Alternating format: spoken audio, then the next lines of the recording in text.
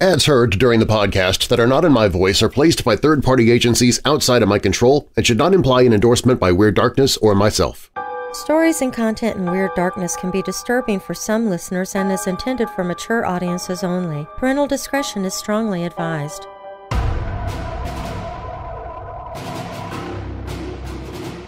We're all familiar with the unwieldy power of ancient relics from movies like Indiana Jones – but what if those powers were real? In the case of the items we're about to discuss, that might just be the case.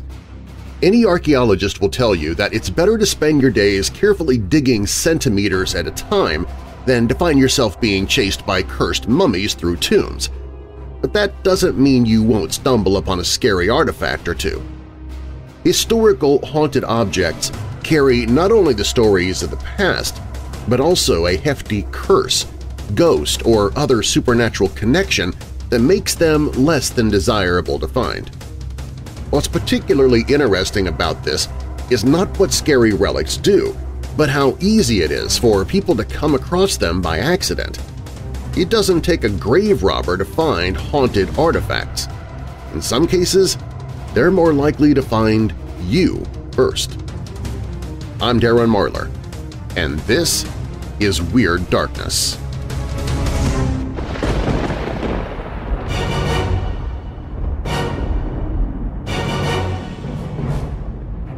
Welcome, Weirdos! This is Weird Darkness. Here you'll find stories of the paranormal, supernatural, legends, lore, the strange and bizarre, crime, conspiracy, mysterious, macabre, unsolved, and unexplained. Coming up in this episode… It was Labor Day, 1980, when Cynthia Clements disappeared. It wouldn't be until more than a month later that her body would be found, and we still don't know who killed her. A harbinger of doom is a sign, a warning of bad things to come, a supernatural forerunner to disaster, you might say, which several do in Canada. There they are more than familiar with forerunners of disaster and have several examples they could point to from over the years. Can you sue a schnauzer can you take a cat to court? Put a terrier on trial? Can you arrest a mule for murder? You'd be surprised how many animals have been put on trial, and for what reasons. Wilford Sweeten was found dead of food poisoning. Then across town, a pastor's wife was found dead of food poisoning as well. And that's when rumors already circulating in the small town of Ida, Illinois, began to be confirmed. And the identities of the killers would shock people nationwide. But first, it was probably said best by old-time radio's The Shadow when he said at the beginning of each episode, the weed of crime bears bitter fruit. Crime does not pay. But true-life criminals don't seem to be too concerned about that. Some thieves, however, did learn it the hard way when they stole what turned out to be cursed relics and paid the price for swiping them. We begin there. If you're new here, welcome to the show. While you're listening, be sure to check out WeirdDarkness.com for merchandise, my newsletter, to connect with me on social media. Plus, you can visit the Hope in the Darkness page if you're struggling with depression or dark thoughts. You can find all of that and more at WeirdDarkness.com. Now, bolt your doors, lock your windows, turn off your lights, and come with me into the weird darkness.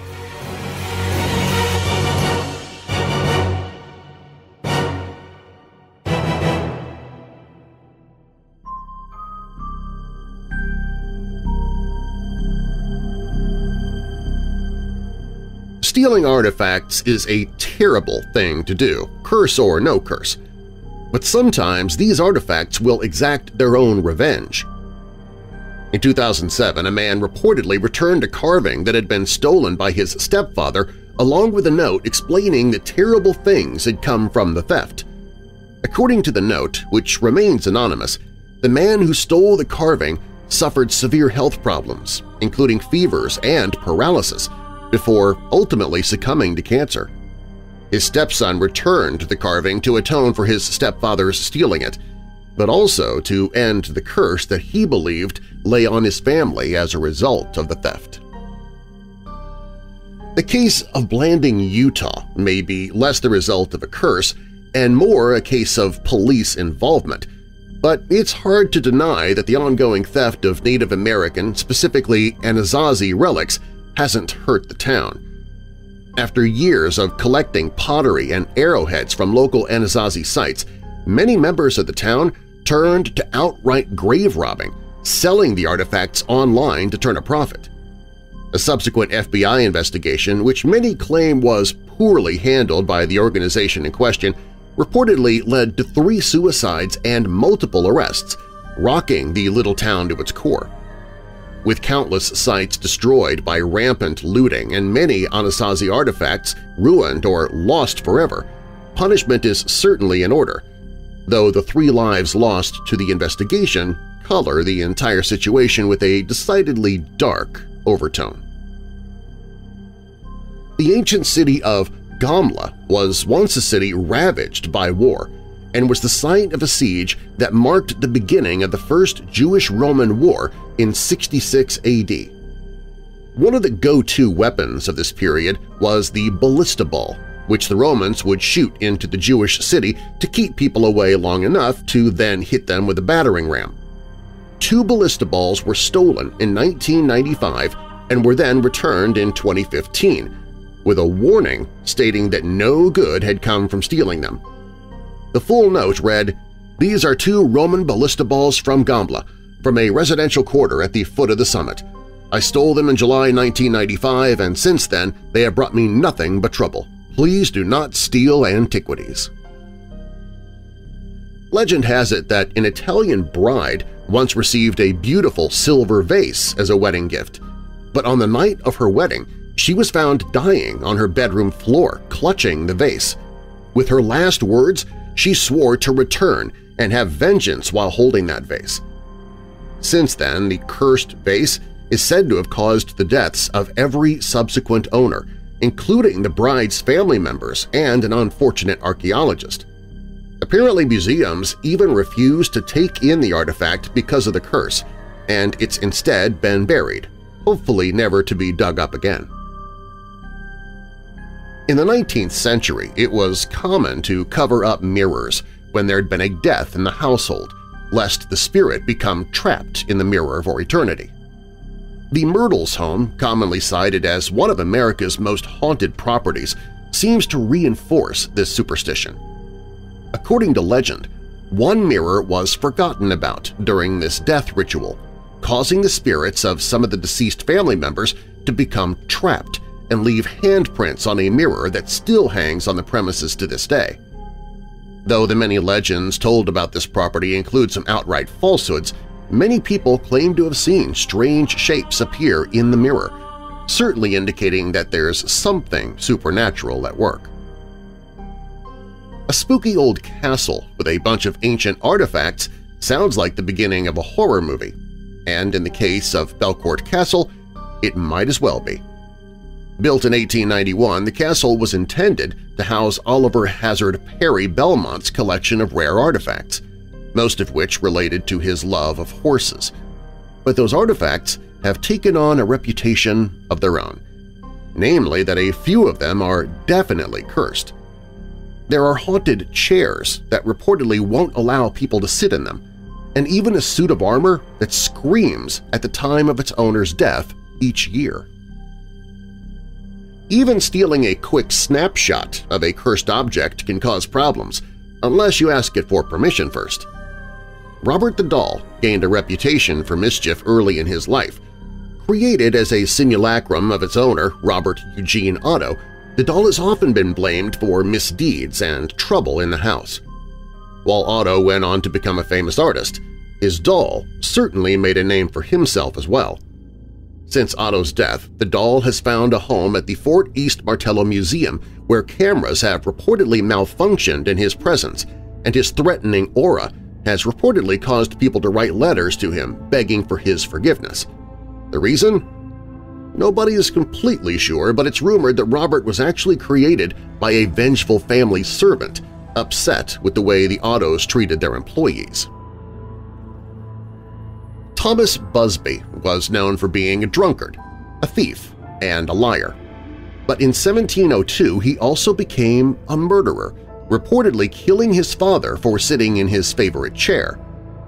Busby was found out and promptly sentenced to death, and, as the story goes, he requested that his final meal be served while he sat in his favorite chair. As he left for the gallows, it's said that he cursed the chair to kill anybody who sat in it after him.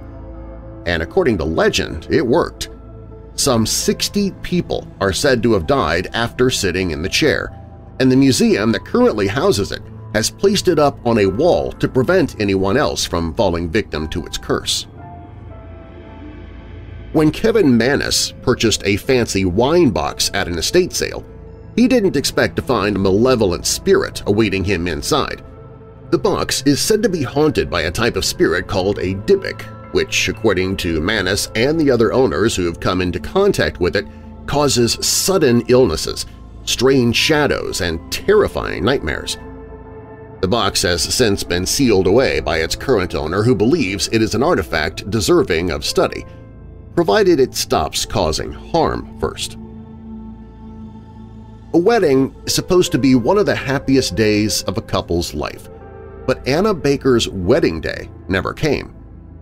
According to legend, Anna fell in love with a man of lower status, but her father prohibited them from getting married.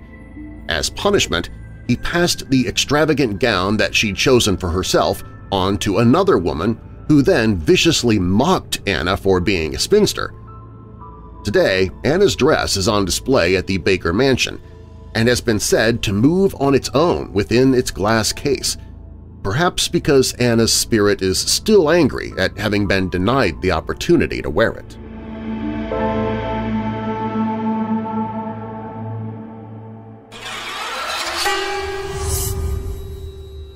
A harbinger of doom is a sign, a warning of bad things to come, a supernatural forerunner to disaster, you might say, which several do in Canada.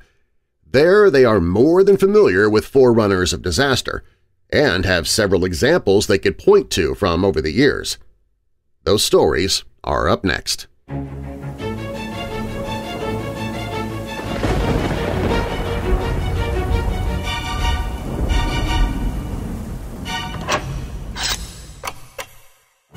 Political season is upon us, and those flying the red colors have their promises. The politicians wearing blue have different promises, but those of us in the cryptid party have only one promise – to stay hidden and mind our own business. Don't let the political pundits, the candidates, the PACs, or your closed-minded brainwashed family and friends tell you who to vote for. You're smarter than that. That's why I'm telling you who to vote for. This November, pull the lever for Bigfoot and Mothman. Our new president, Bigfoot, won't make the same mistakes as humans have, because he's not human. Bigfoot loves our country and you, so much so that he knows you have a better idea of how to run your life than he does, so he's staying out of your life. With Vice President Mothman, their new administration will do what no administration has done in the past – absolutely nothing. Show your support for the Cryptid Party by grabbing your Bigfoot Mothman 2024 merchandise with campaign buttons and stickers, hats, shirts, tote bags, mugs, hoodies, giant tapestries, pillows, magnets, even clothes for your kids to get them into the spirit of the political season. This year, vote for someone you can trust in, believe in, even without scientific proof of their existence. A vote for Bigfoot and Mothman is a vote you can be proud to tell others about. Get your Bigfoot and Mothman 2024 merchandise now at WeirdDarkness.com slash shirts, available in all sizes and colors, even red and blue if if you want to confuse people about your party loyalties. The new Bigfoot and Mothman 2024 political campaign merchandise at WeirdDarkness.com slash shirts.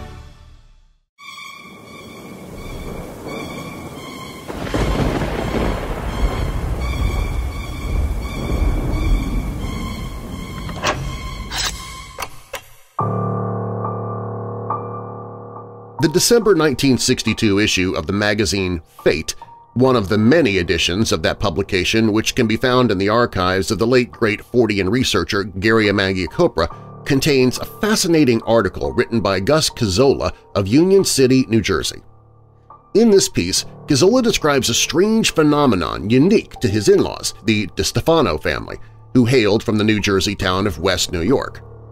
Gazzola was introduced to this weird familial quirk on March 17, 1958, when he and his wife's family were gathered around the DeStefano television set. Suddenly, at 4 p.m., Gazzola wrote, a bright flash cut through the crowded room. I blinked frantically to regain my sight. The television was black. Obviously, a tube had blown.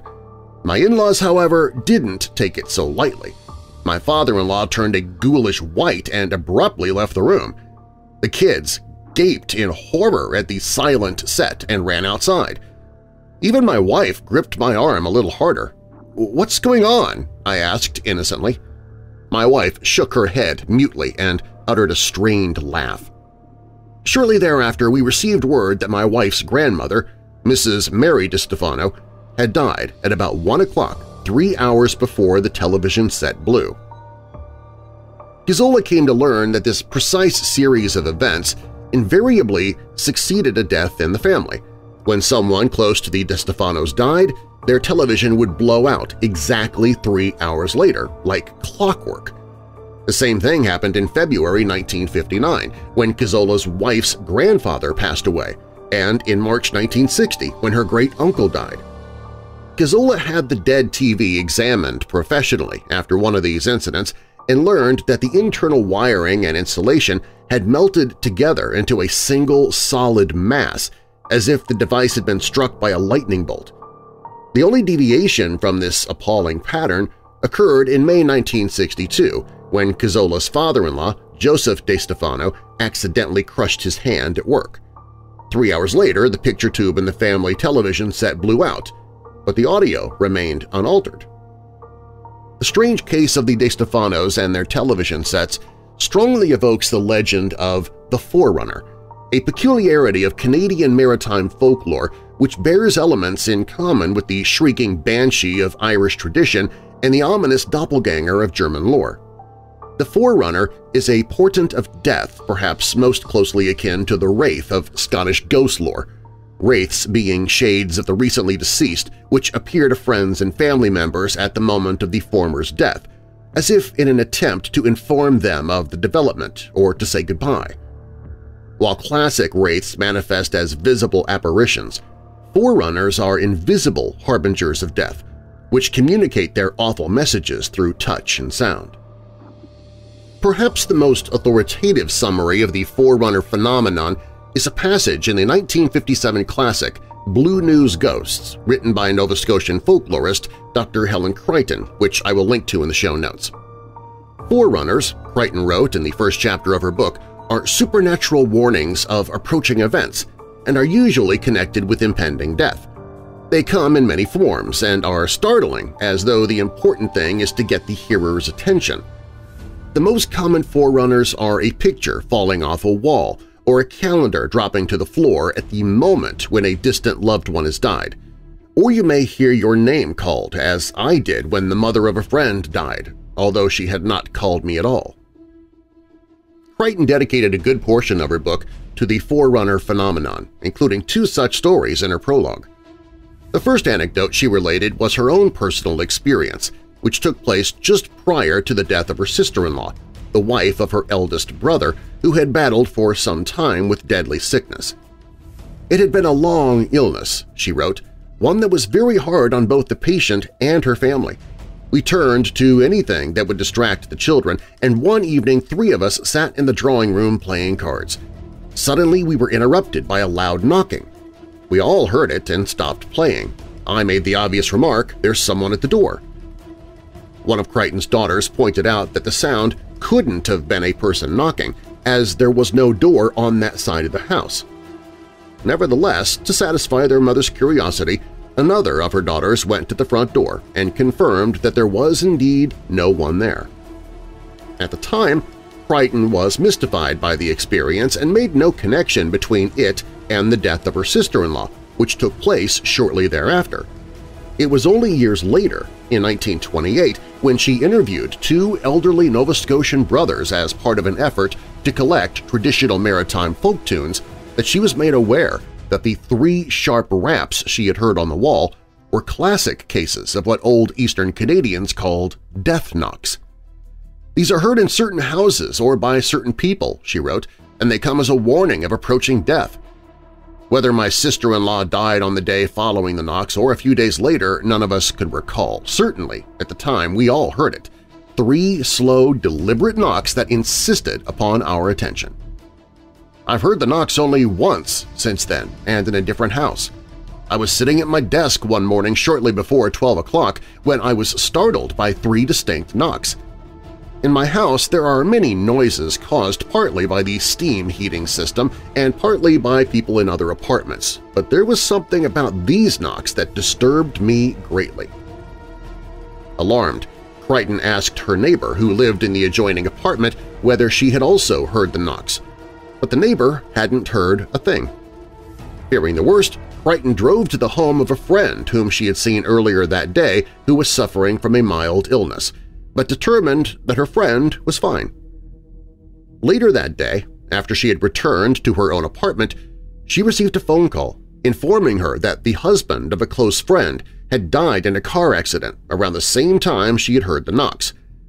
When his wife was asked whom she would like to have with her, Creighton wrote, she had asked for me, knowing she would want me and all three of us being very close. I suppose he'd been trying to get through to me. Not confined to the traditions of Nova Scotia, the story of the death knock is also a staple of Prince Edward Island folklore. Prince Edward Island, PEI, being Canada's smallest province, nestled in the Gulf of St. Lawrence just north of Nova Scotia. Folklorist Sterling Ramsay included one such story in his 1973 book, Folklore Prince Edward Island. I've placed a link to this book in the show description as well. Island people in years gone by, Ramsay wrote in his introduction to the subject, were rather firm believers in forerunners, in supernatural warnings of one kind or another of impending death or some event that lay ahead in the future. Many people who disclaimed all belief in the supernatural openly admitted to at least one time or another being confronted with a forerunner in one of its many forms. Two of the most common are the hearing of one's name being called at the time of another's death and three mysterious knocks at a door when apparently there was no one else around that could have done the knocking. Both of these are found in this one experience, a rather unusual occurrence. Ramsay proceeded to relate the account of a woman from Ellerslie, a rural community located up west as islanders refer to the wilder west half of their island province. In the summer of 1967, the storyteller and her family moved into a farmhouse at Ellerslie. Shortly after their relocation, her widowed mother came to spend a few weeks with them, as was her summer custom. Although she was 72 years old, her mother was healthy and active and prided herself on never having been sick a day in her life.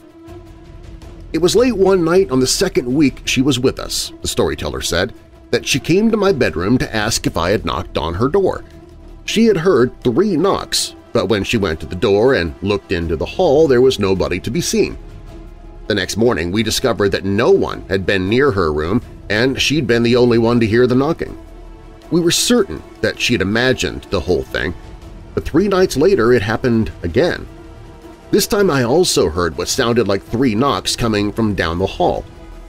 Again, we could not discover who or what was responsible. The following week, Mother went home and I completely forgot what had gone on during her visit. On the first evening after Mother left, I decided to retire early, but sometime during the night I was awakened by what sounded like a woman's voice. The more I listened, the more it sounded like the voice of my mother calling my name. I was unable to go back to sleep, so I went down to the kitchen and noticed that it was just about 3 o'clock. I put the whole thing down as some sort of strange dream and thought nothing more of it until the next morning when I received a call from the woman who shared my mother's home. She'd been called to Mother's room at about a quarter to three the previous night. Mother seemed deathly ill, and a few minutes later she passed on. I knew then what it had all meant. It's perhaps worth mentioning here that three disembodied knocks have been associated with the poltergeist phenomenon and have been reported in many suspected cases of demonic infestation – for example, Readers of Hammerson Peters' 2018 book Mysteries of Canada Volume 1, link in the show notes, may recall the story of Lewis and Ethel Hilchey, whose home in a peaceful suburb of Halifax, Nova Scotia was invaded by some malicious invisible entity on Christmas Eve 1943, which first announced its presence by shattering the evening's tranquility with three deep, hollow-sounding knocks. As controversial American demonologist Ed Warren explained in an interview with writer Gerald Brittle, phenomena that occur in threes are a signature of the demonic. Often, the very first thing to happen in a case of infestation is that there will be three knocks at the door. There won't be anyone there, of course, at least nobody visible. Three is used as a signal. Three is purposely used as an insult to mock the family. One rare sort of forerunner evoking the death knock phenomenon was described by one Venona Hutchmaker in her article in the June 1961 issue of Fate. Although Venona was a resident of Toronto, Ontario, at the time she penned her story, she'd grown up in the rural community of Ship Harbour on the eastern shores of Nova Scotia up the coast from Halifax. When she was a little girl, Venona's beautiful young Aunt Min lived with her and her family. Back in 1895, Aunt Min was engaged to marry a fisherman named Dan. Like most members of his profession at that time, Dan spent most of the week sleeping in a shack on one of the little islands that dotted the coastline, from which he could head out to sea in his fishing boat early every weekday morning. Every Saturday night, he and his fellow fishermen came back to the mainland in order to spend Sundays with their families. It was a week before the wedding, on a Saturday night, Venona wrote, a terrible storm had blown up. The wind howled like a banshee. Thunder and lightning rent the skies. The sea rolled in torrents and breakers rising mountains high dashed against the shores. The rafters of our house shook with the terrible force of the gale, and everyone remembered the fishermen on the islands who would not be coming home this night. My mother was knitting and father was reading. We youngsters were busy at our schoolwork. Aunt Min was sitting by the fire with her feet in the oven as she said that bad storms always gave her a chill. It was late spring, lobster fishing time, but there was always need of a bit of fire. Mother bundled us children off to bed finally, but my room was just off the kitchen where the family usually spent their evenings, and I could hear every word of the conversation. Aunt Min seemed worried and pensive. I heard her speaking to my father, Jim, and she said, do you suppose Dan would attempt to cross the bay tonight? Father answered, Only a fool would attempt to cross on a night like this, and Dan's no fool. Well, I don't know, Min continued. Our wedding's only a week away, you know. He would want to come in if possible. Of course he would, Min, Mother said, but he wouldn't dare try it. Well, my girl, Father said half seriously, if he does, there'll be no wedding, you can be sure of that. Everything was silent for a while then, except for the beat of the storm outside. Suddenly I heard Aunt Min scream in an angry, high-pitched voice, "'Jim, how dare you slap me like that?' "'Slap you?' Father said. "'Are you crazy, girl? I didn't slap you.' "'How dumb do you think I am?' Aunt Min replied. "'Just don't do it again, Jim. I'm not in the mood for fun.' Mother thought Aunt Min might be getting a sudden jumping toothache and only imagined she'd been slapped, for certainly no one there had slapped her but a few moments later she jumped up again, her voice very angry, accusing Father of slapping her a second time. Father said he thought she was taking leave of her senses. But Aunt Min had been slapped twice, and what else could she think that her brother was playing a silly trick on her? She had turned around to face Father and Mother, then to put an end to the nonsense, when suddenly she received another hard slap. She could see it had not been Father at all. But what hit me? Who did it? she said. And then, quite suddenly, she began to cry. Somehow Aunt Min knew it was Dan. He had tried to cross the bay after all and now was in trouble and needed her. She knew it. Deep inside she knew that Dan was dead. I heard her say so. Grandfather found Dan's boat the following morning when she had drifted ashore on Catfish Pond her sails flapping loosely in the wind that had died down to a pleasant breeze. Nearby lay Dan's bruised body. It had come drifting in with his boat. Dan had been struck with the boom and apparently knocked overboard unconscious. So there was no wedding after all. But who or what had slapped Aunt Min, and why? Was it Dan's subconscious mind calling to his loved one for help in his hour of need, or did Aunt Min also feel the blows of the boom that killed Dan? We do not know, but we remember the terrible night that something slapped Aunt Min. Following her exposition of the death knock phenomenon, Helen Creighton in Bluenose Ghosts went on to describe a number of other Nova Scotia Forerunner stories she had collected, lumping various phenomena which other folklore traditions know by different names like premonitions, wills of the wisp, and the aforementioned wraith and doppelganger under the same broad Forerunner umbrella, as have all other maritime folklorists who've written on the subject. One unique type of Forerunner detailed in Bluenose Ghosts is a strange and unaccountable noise which, though initially meaningless to those who hear it, will later be replicated exactly during some heart-rending future scene, such as the funerary preparations of someone known to the hearers. These auditory omens are often, if not invariably, heard in the exact same locations as that at which the events they foretell will later take place. Like the doppelganger phenomenon, they almost inspire the impression that they are the cryptic attempts of some paranormal force to warn the residents of a certain area of an impending tragedy, or to prepare them for some future emotional trauma.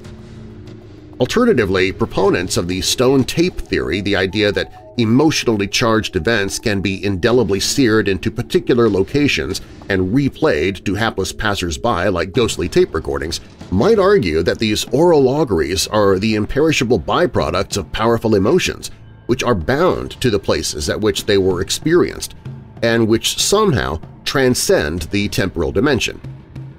A third explanation for this strange phenomenon was proposed by folklorist Mary L. Fraser in her 1932 book Folklore of Nova Scotia. Again, I'll link to this book in the show notes as well. In her book, she writes, There is a persistent tradition that the spirits of the living rehearse the making of coffins, the funeral preparations, even the funeral processions. Those who have the second sight see these things, those who have not very often hear what is going on, although they cannot see them. The second sight which Fraser referred is an Anglo-Celtic term, borrowed from the British Isles, denoting the gift of clairvoyance and a sensitivity to preternatural phenomena. Some of those who've written on the subject have proposed that Forerunner stories are so prevalent in Atlantic Canada because, with the exception of the native Micmac, the descendants of old Acadian settlers, the progeny of German immigrants and the descendants of black loyalists, most of the region is populated by people of Scottish, Irish, and English stock, those ethnicities supposedly having a higher incidence of that mysterious characteristic.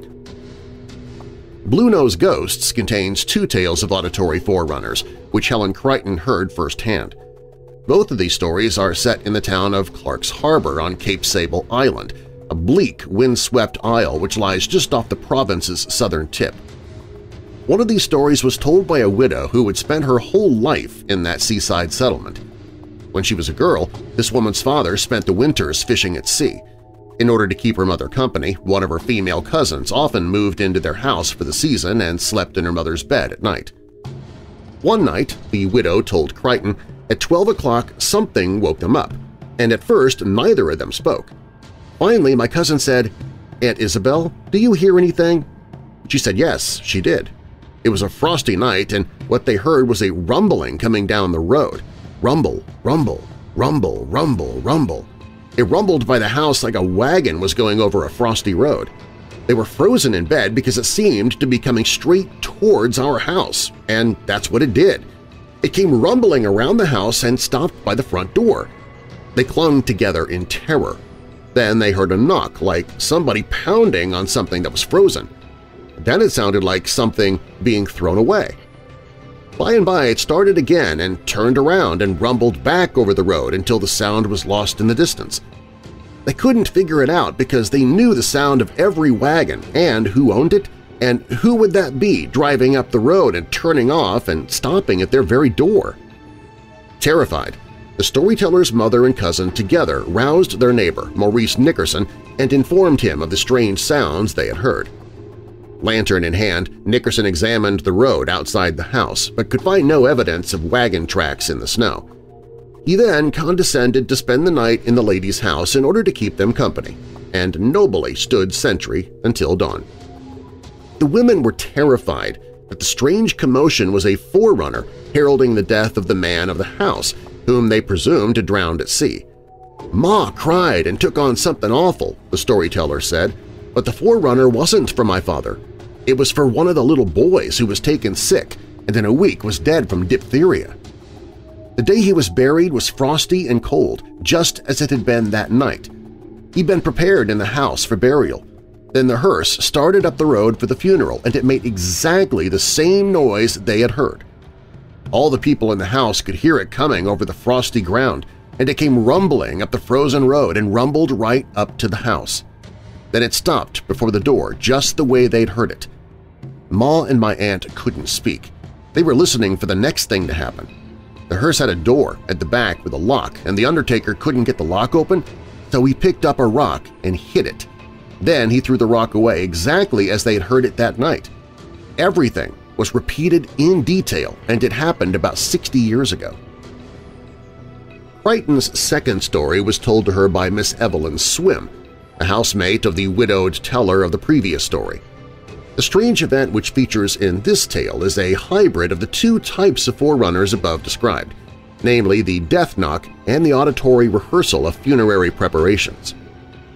One day years earlier, when Swim lived with her parents, a sick toddler whom she did not identify was sleeping in a room in her family's house. He was not thought sick enough to die, Swim told the folklorist. Mother was stitching and Aunt Julie had just come from her room when they heard a little knock. Mother said, you go see who that is. Aunt Julie went, but she came back and said, Levy, there's nobody there. Then came another knock. She looked out and still there was nobody there. She went back to the child's room and everything seemed in order. The knock came then for the third time. They couldn't understand it unless it was somebody playing a prank, but there was no sign of anybody anywhere. In a few days, the baby passed away and shortly afterwards the coffin maker came to get measurements. He put the child's body in the coffin, and he used a hammer to drive little brads into the coffin.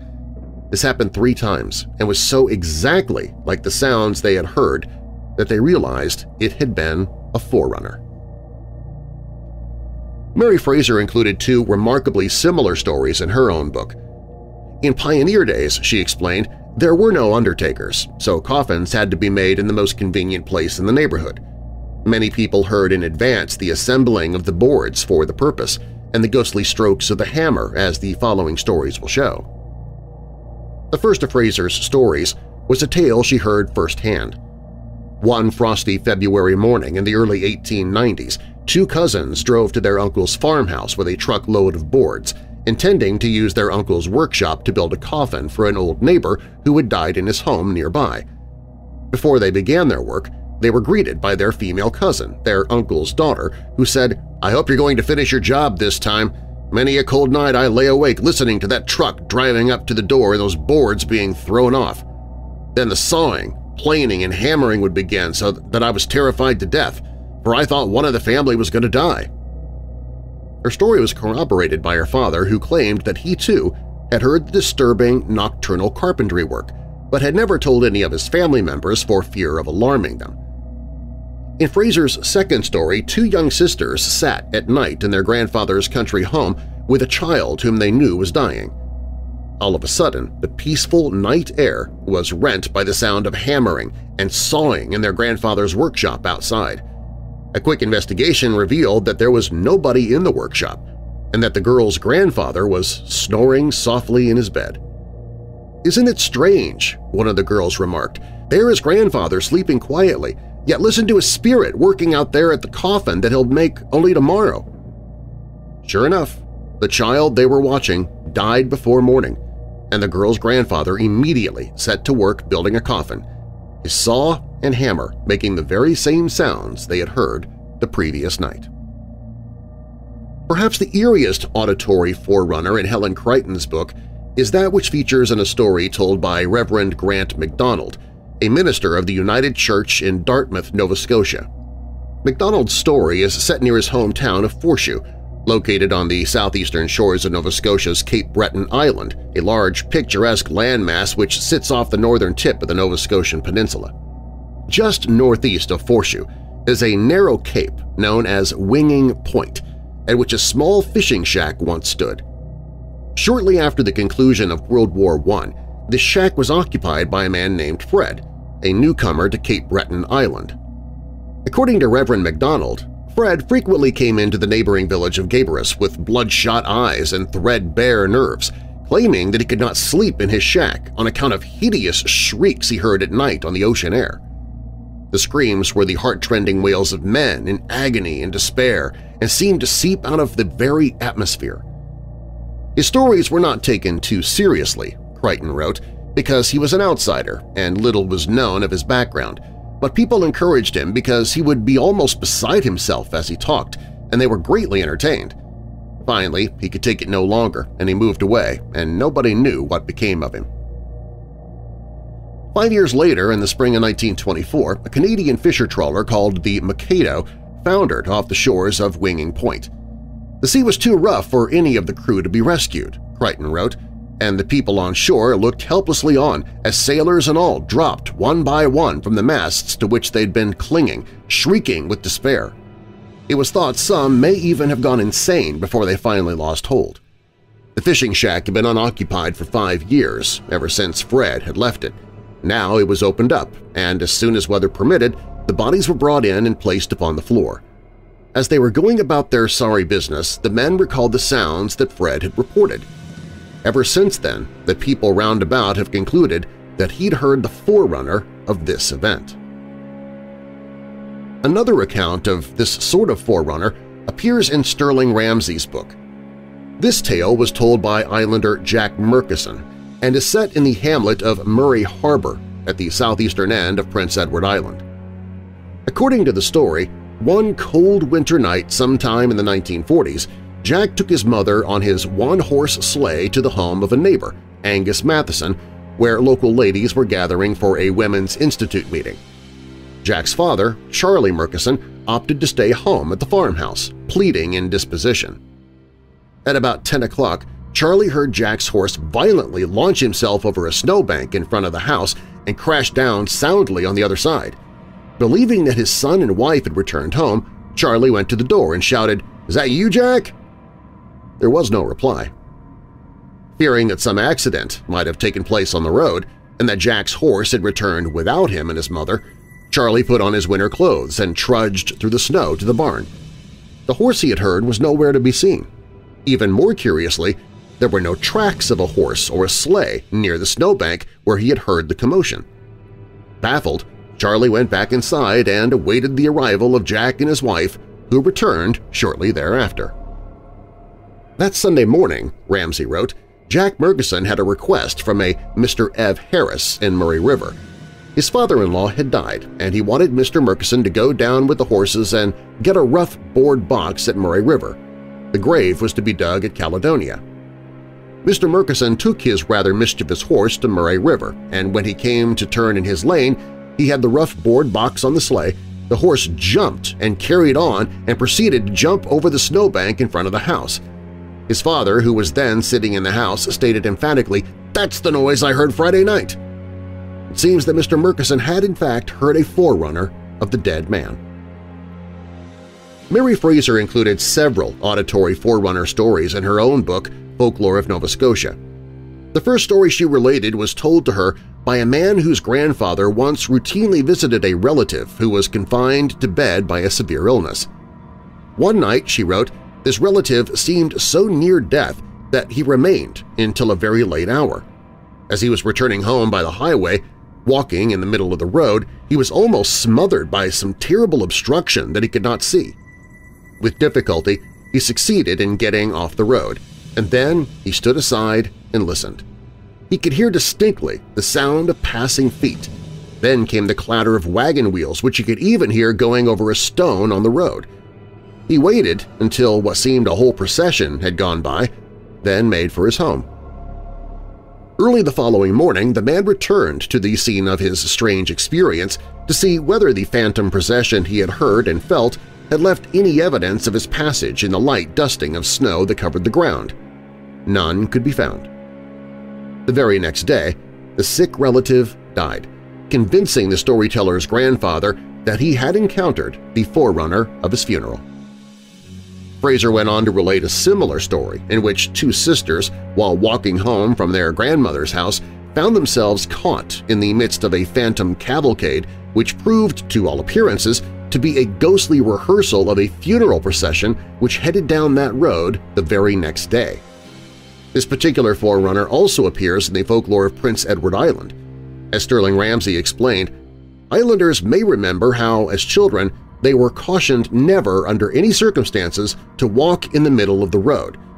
Perhaps they are not familiar with the rather obscure origins of this superstition.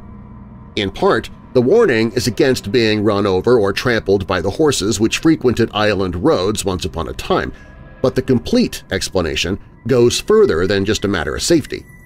It was all a matter of one of the most common manifestations of a forerunner on Prince Edward Island, namely that the horses in a funeral procession often passed over a road several days before a man, woman, or child in the district died.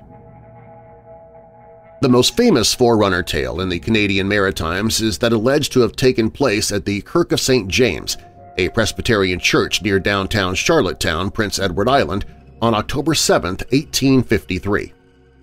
Early that morning, so the story goes, a sea captain named Cross set out on foot from the district of Brighton at Charlottetown's southwestern end, bound for a particular stable to the northeast where he expected to pick up a horse that his father had sent him from England – at about 5.30 in the morning, when he was halfway over Black Sam's Bridge, a bygone structure located near the present-day confluence of Euston and Rochford Street near downtown Charlottetown, a bell began to ring nearby. Captain Cross's first instinct was that the peals were those of a ship's bell signifying the arrival of a ship in the harbor, but when he looked toward the waterfront, there were no strange vessels in sight. Intrigued, Cross walked in the direction of the incessant clanging and found that it emanated from the bell tower of the Kirk of St. James. As he approached the place of worship, he saw three women dressed in white gowns standing on the church threshold, the double doors of the main entrance wide open before them. The women seemed oblivious to the approaching sea captain and did not raise their eyes in his direction. A fourth white-clad figure could be seen through the slatted windows of the bell tower, ringing the church bell vigorously. Captain Cross was not the only Charlottetown resident drawn to the church by the mysterious tolling. Both the parish's pastor, Reverend Dr. William Snodgrass, and its sexton, Davy Nicholson, knew that there was no occasion for the bell to be ringing at such an early hour.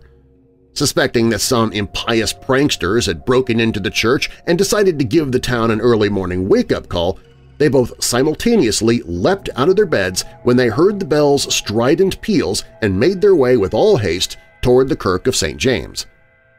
The younger Nicholson arrived at the church around the same time as Captain Cross. Like the latter, he clearly saw three white-robed women standing on the threshold of the church and a fourth in the belfry, laying on the bell. Before the two men had a chance to approach the women and inquire as to the reason for their untimely and unsanctioned bell-ringing operation, the church doors closed on them in unison. The mysterious bell ringer also disappeared, leaving no sign of her presence but the lingering vibrations of the bell's final peal. Astonished, both Cross and Nicholson tried the church doors but found them locked.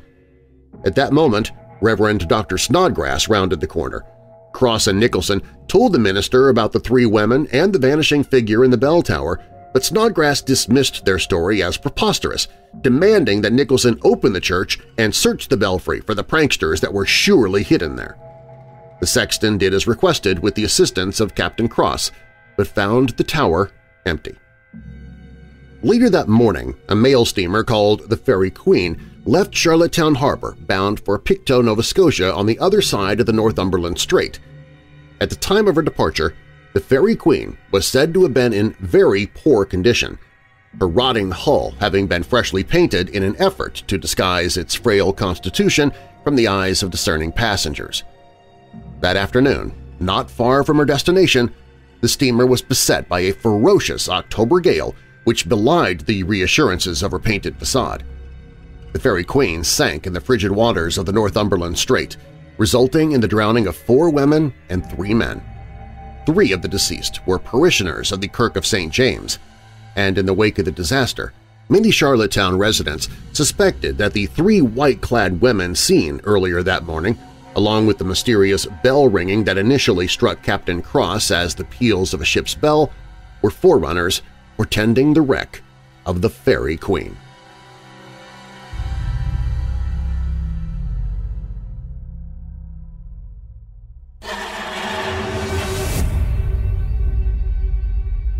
When Weird Darkness returns, Wilford Sweeten was found dead of food poisoning. Then across town, a pastor's wife was found dead of food poisoning as well. And that's when rumors already circulating in the small town of Ida, Illinois, began to be confirmed, and the identities of the killers would shock people nationwide. But first, it was Labor Day, 1980, when Cynthia Clements disappeared. It wouldn't be until more than a month later that her body would be found, and we still don't know who killed her. That story is up next.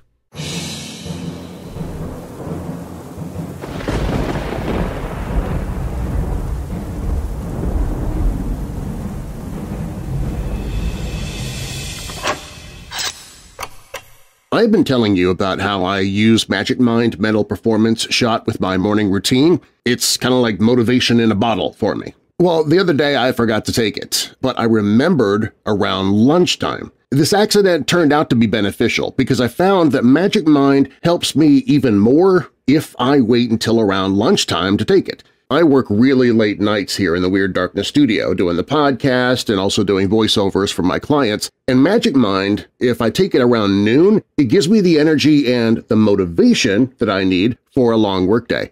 Magic Mind is offering you three free bottles so you can see how it works for you. This is different than the other URL that I gave you before because I can only offer this for just a few weeks. Visit magicmind.com slash weirddarknesstrial and then use my code DARKNESSTRIAL, all one word, and get three free bottles of Magic Mind. Again, this is for a very short time, magicmind.com slash weirddarknesstrial, and then use my code DARKNESSTRIAL for your free three mental performance shots of Magic Mind.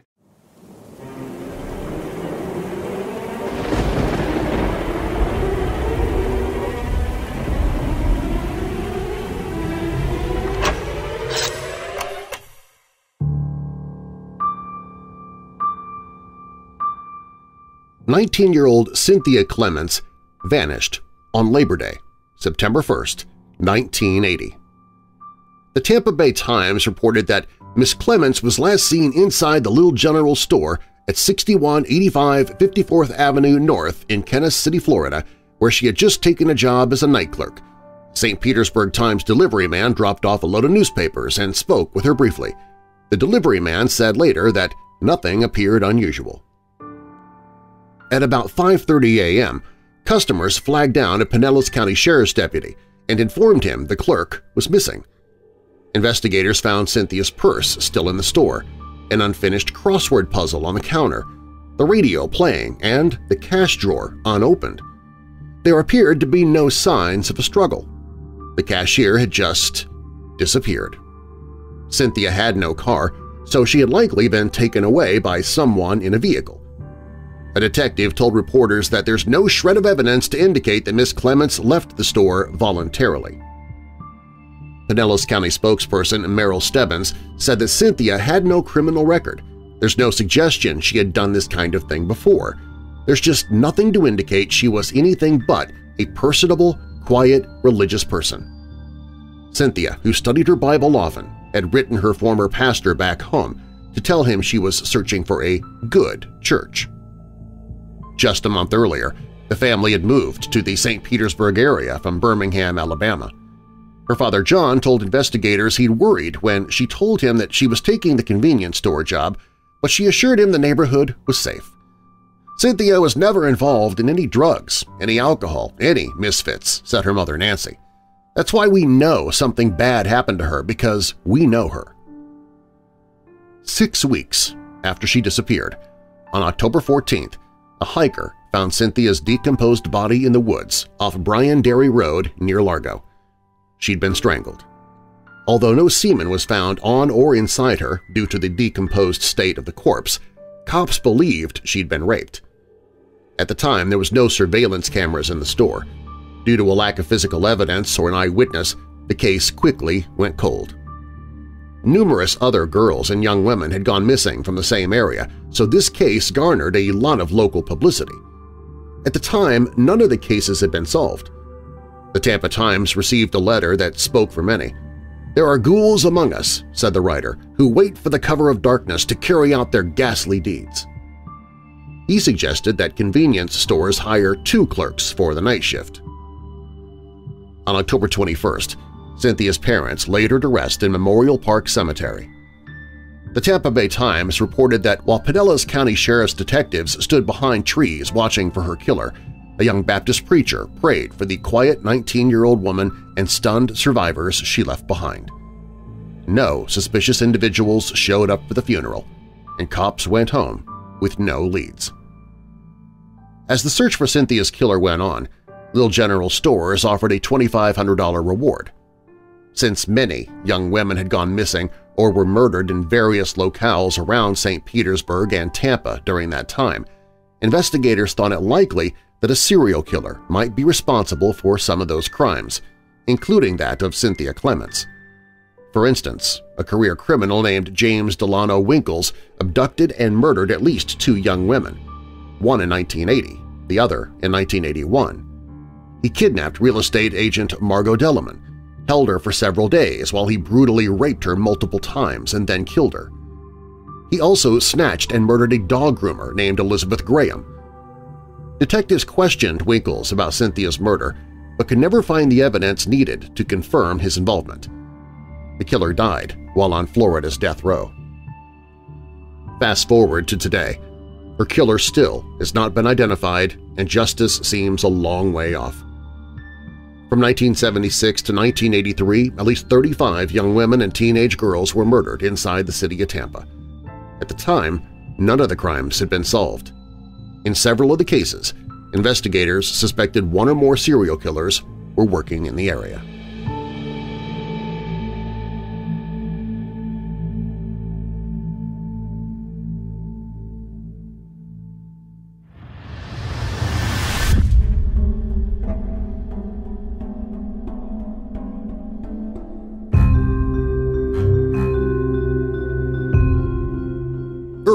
Has no sorrow that heaven cannot heal. That's the inscription carved on the tombstone of a local miner named Wilford Sweeten, who's buried in the Kirk Cemetery just north of the small town of Ina, Illinois. It seems a pleasant and forgiving sentiment to place on the marker of a man who was murdered, and once you know what happened to him, solace and forgiveness are not the first words that come to mind. But Wilford was not the only victim of the two killers whose identities shocked the small southern Illinois town in 1924.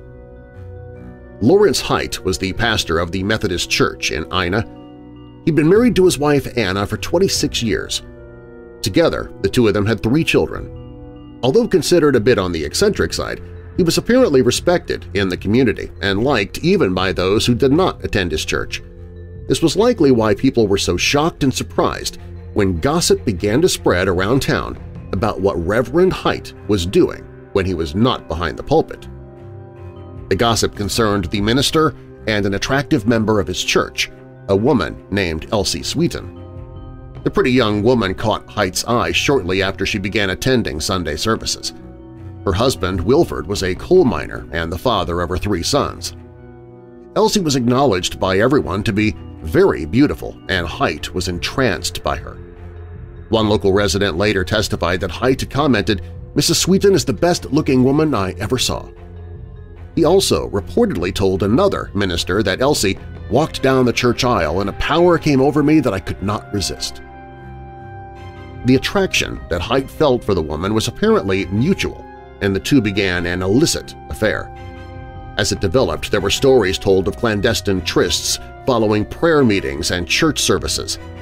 At one point, when Hight was conducting a 10-day camp meeting in a rural area, Elsie was secreted away in a small cabin next door to his own on the campgrounds. During this time, Anna Hight, oblivious to the affair, wrote a number of affectionate letters to her husband. They were later found among her belongings during the investigation into her death. Anna Hight may have been blind to the actions of her husband and young Elsie, but few others in town were as unaware. The relationship between the minister and a member of his flock was badly concealed, and as passions grew more heated between them, more and more people began to talk. In the early summer of 1924, the lovers decided that they could be separated no more, and they began to make plans so that they could be together forever. Since divorce was out of the question, given the minister's position in the church, they concluded to plan to murder their spouses instead. Apparently, murder was considered less of a sin to Reverend Hight than divorce was. Wilford Sweeten was the first to die. In confessions that she later made and then refuted, Elsie said that Hight provided her with arsenic to use for taking her husband's life. She fed him the poison in his food three times each day, and he suffered intense agony for 12 horrible days before he finally died. The original cause of death was said to be ptomaine poisoning, supposedly traced to spoiled ice cream. Hight conducted an outstanding funeral service for Sweeten, even going as far as to boast that he had converted Sweeten to the Lord and had saved him while the miner was on his deathbed. Six weeks later, Anna Hight became sick from some unknown cause. She also suffered in terrible pain before she succumbed to paralysis and then death on September 12, 1924. Anna's cause of death was also believed to be from ptomaine poisoning. In her case, it was believed to be a batch of spoiled ham that had killed her. By this time, the rumors and stories about Hight and Elsie had reached scandalous proportions. The Jefferson County coroner had finally become suspicious, and he ordered an analysis of the contents of Anna's stomach. He also had Wilford Sweeten's body exhumed and examined as well. The results of both tests were identical. Death had come from acute arsenic poisoning. The authorities wasted no time in arresting Reverend Hight.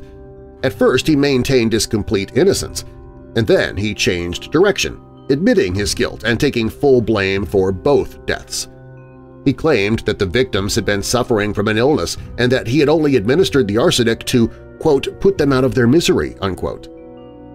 Then Hight changed his story once again. This time he implicated Elsie as his partner in both murders.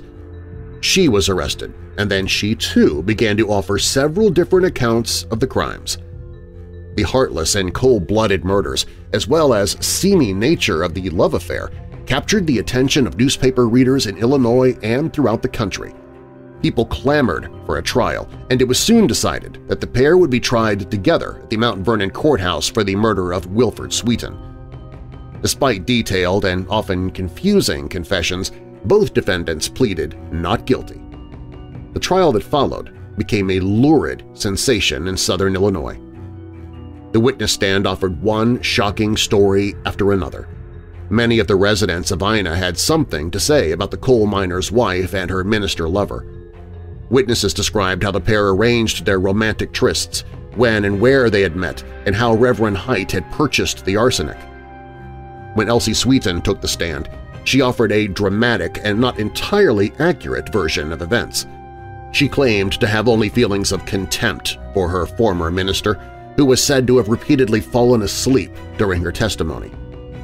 When it came time for Hight to offer a defense, his attorney tried to portray him as insane suffering from pre-senile dementia.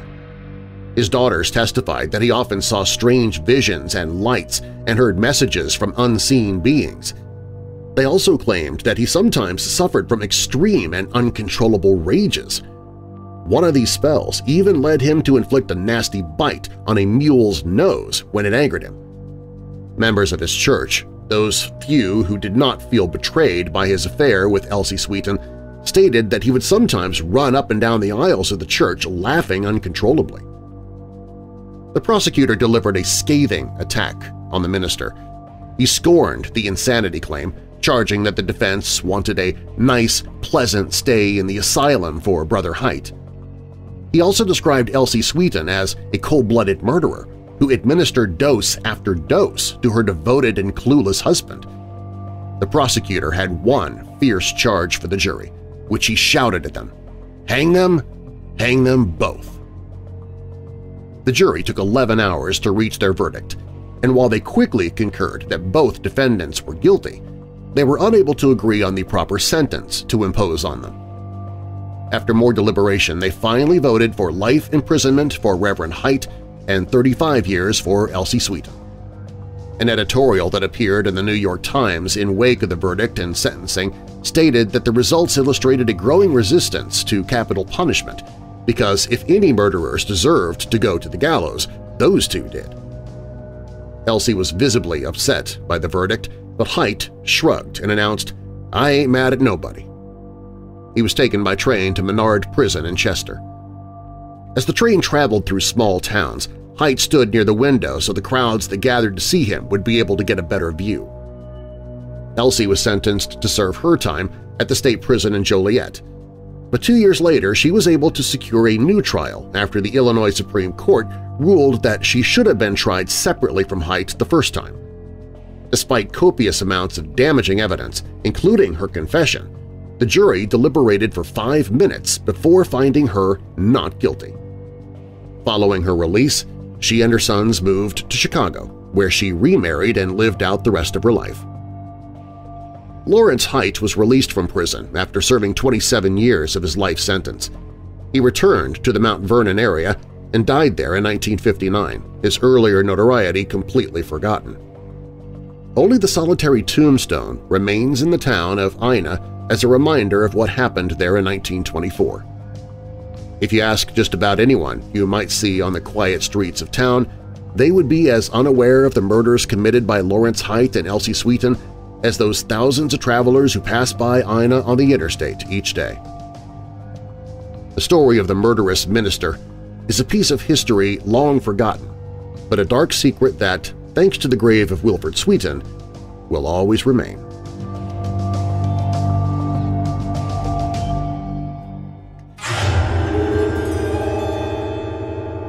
Coming up, can you sue a schnauzer?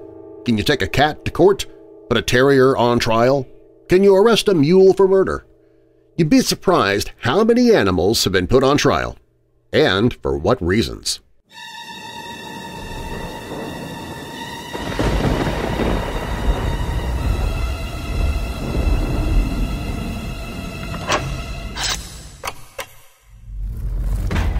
Your Haunted Lives Revisited by G. Michael Vasey and Andy Hopkins. This collection of mystifying, scary, real-life ghost stories are true tales of horrifying encounters with the supernatural and paranormal. They include visits from terrifying entities, haunted houses, strange and scary poltergeists, attempted possession, Ouija board nightmares, evil demonic forces, haunted cemeteries, haunted places, and much, much more. They will chill you to the bone. These are supplemented with true stories of the editor's own strange and scary experiences. This terrific, terrifying collection of true spooky stories of the paranormal will keep you looking over your shoulder and wide awake. Your Haunted Lives Revisited by G. Michael Vasey and Andy Hopkins. Narrated by Darren Marlar. Hear a free sample on the audiobooks page at WeirdDarkness.com.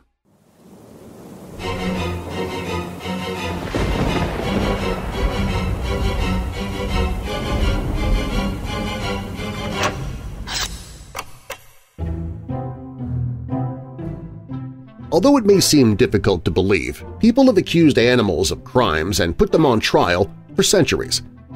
Possibly more surprising than the fact that people can sue animals in court is that this practice continues worldwide to this day. Medieval societies took the Greek idea of holding all living creatures and non-living objects accountable for any crimes they committed in an attempt to prevent demons from infiltrating their towns – some believed that beasts of burden fell under the jurisdiction of man since they were owned and controlled by them, in theory. Insects, snakes, vermin, and other wilder animals were sometimes tried in church courts, since only God could judge and control them.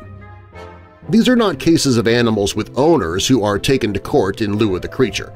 These are wild rats, insects, pigs, and other beasts doing the things they are hardwired to do, facing imprisonment or the death penalty for inconveniencing humans. More horrible still, some faced trial and punishment for the wrongdoings of humans. When people think of witches, they think of dogs. Or they would if they knew about the two canine sorcerers accused of being in league with the devil during the 1692 Salem witch trials. However, neither dog was owned by or seen in the presence of a witch. The first dog was owned by the neighbor of an afflicted girl in Andover, Massachusetts. The dog was accused of trying to bewitch her and was immediately shot. When the animal expired, the minister, Cotton Mathers, declared it innocent. One test of being a witch involved attempting to kill the accused. If they died, they were innocent. If they defied death, they were a witch. It was an imperfect system.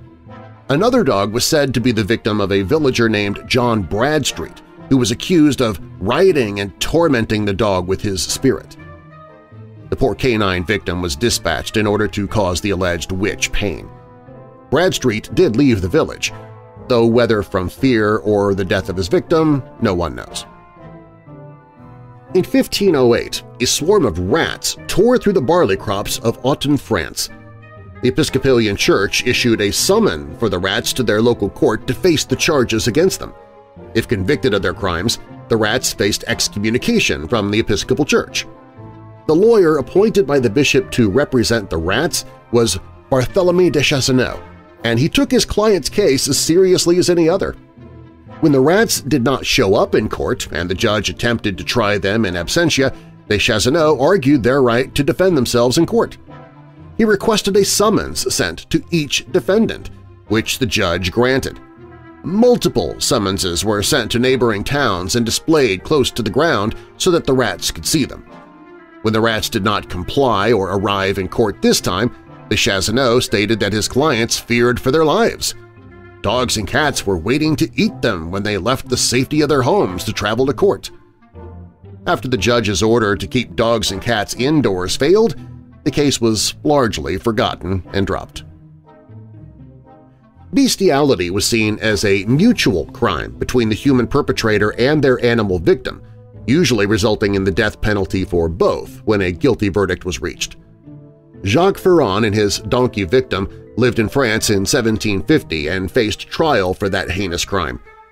In a strange twist, Ferron received his punishment, but the donkey was spared due to credible character witnesses. The donkey was said to be virtuous and well-behaved both at home and abroad and had never given occasion of scandal to anyone. In Falaise, France, it was common for large numbers of pigs to roam the streets unhindered. On January 9, 1386, one of those pigs entered a home and mauled an infant in its crib, resulting in the child's death.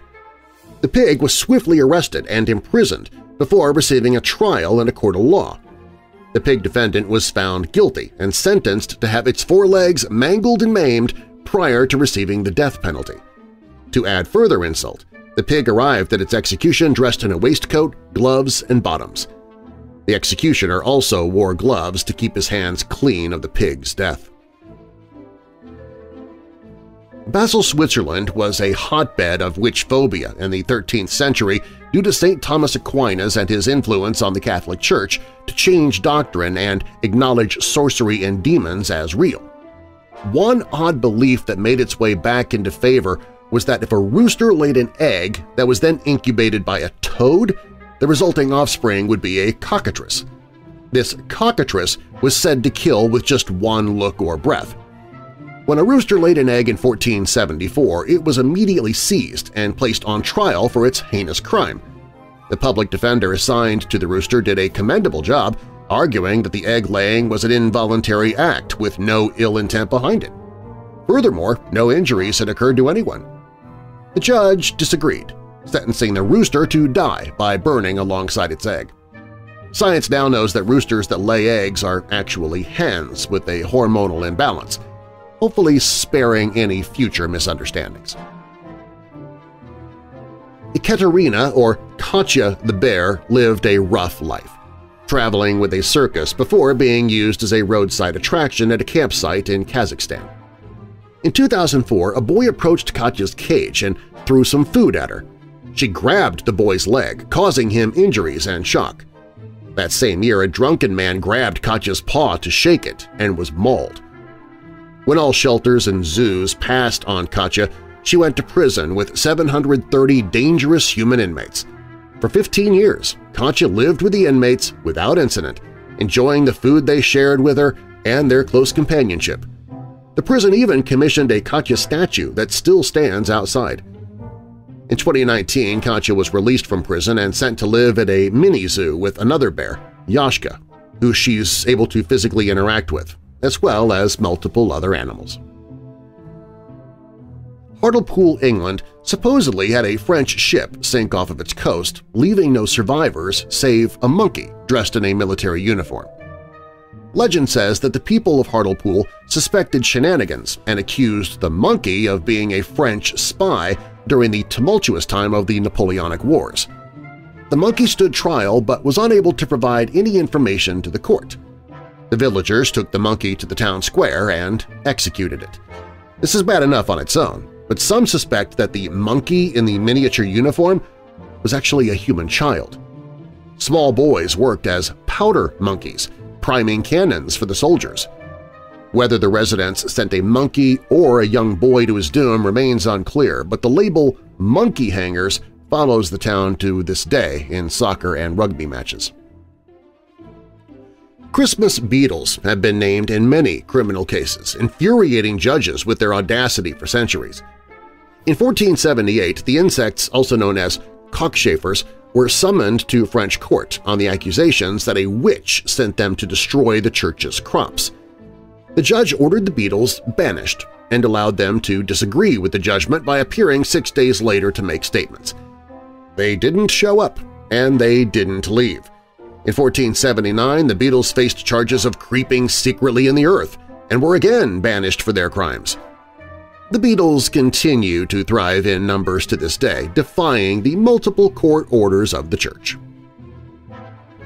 A Macedonian bee farmer sought compensation from a bear who allegedly kept stealing his honey. After using flashing lights, loud turbo-folk music, and other ways to deter the bear, the farmer took the animal to court. In March 2008, the court found the bear guilty of honey theft and ordered it to pay 140,000 dinars or $3,500 for damage to the hives. Since the bear was part of a protected species and was wild, execution was off the table, and the state had to pay the fine.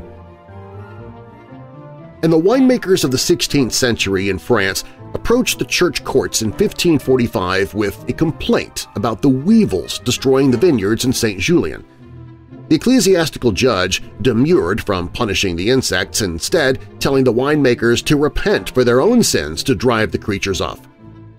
Amazingly, this seemed to work. In 1587, the insects returned to St. Julien to continue the decimation of the vineyards. The church court was again involved, and the trial this time spanned eight months.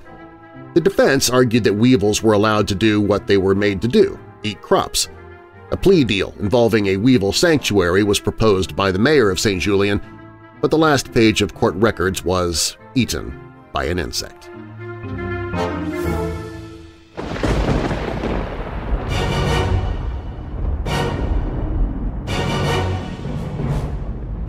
Thanks for listening. If you like the show, please share it with someone you know who loves the paranormal or strange stories, true crime, monsters, or unsolved mysteries like you do. You can email me anytime with your questions or comments at darren at WeirdDarkness.com. Darren is D-A-R-R-E-N. WeirdDarkness.com is also where you can find all of my social media, listen to free audiobooks I've narrated, visit the store for Weird Darkness t-shirts, hoodies, mugs, phone cases, and more merchandise, find other podcasts that I host, and more. WeirdDarkness.com is also where you can find the Hope in the Darkness page if you or someone you know is struggling with depression or dark thoughts. Also on the website, if you have a true paranormal or creepy tale to tell, you can click on Tell Your Story. You can find all of that and more at WeirdDarkness.com. All stories on Weird Darkness are purported to be true unless stated otherwise, and you can find links to the stories or the authors in the show notes. Cursed Relics and the Karma They Brought to Those Who Stole Them was written by Melissa Brinks for Graveyard Shift. The Unsolved Murder of Cynthia Clements was written by Robert A. Waters for Kidnapping, Murder, and Mayhem. Canada's Harbingers of Doom was posted at Mysteries of Canada. Accused Critters in Court is by Jody Smith for Weird History, and The Murdering Minister was written by Troy Taylor. Weird Darkness is a registered trademark. Copyright Weird Darkness. And now that we're coming out of the dark, I'll leave you with a little light. Hebrews 4 verse 13 Nothing in all creation is hidden from God's sight. Everything is uncovered and laid bare before the eyes of Him to whom He must give account. And a final thought, Encouraging someone to be entirely themselves is the loudest way to love them. Kalen Dion I'm Darren Marlar. Thanks for joining me in the Weird Darkness.